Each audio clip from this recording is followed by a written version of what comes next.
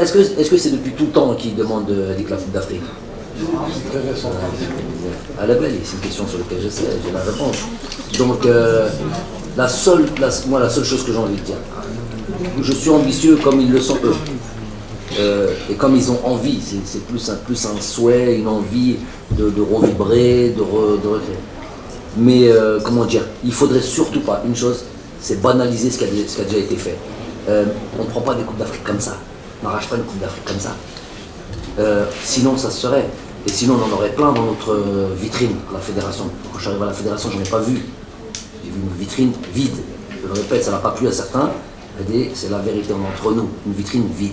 Donc, c'est pas une habitude, c'est pas quelque chose de simple, c'est pas à la belle de la Coupe d'Afrique, ma mère elle veut, mon fils il veut, euh, on veut tous la Coupe d'Afrique. Ça, le Chabi Gouli. Je sais, 24 sur 24.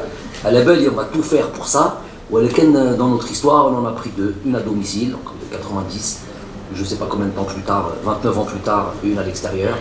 Donc euh, c'est dur, très très dur pour aller, pour, aller, pour aller remporter ce genre de trophée. Mais on va aller avec cette ambition-là.